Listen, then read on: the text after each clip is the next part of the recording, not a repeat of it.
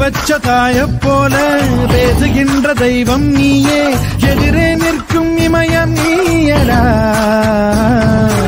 என்னை நானே பார்த்து கொள்ள கிடைத்தாயே நீயும் இங்கே அதனாலே தானோ உன்மேல் தனி பாசம்.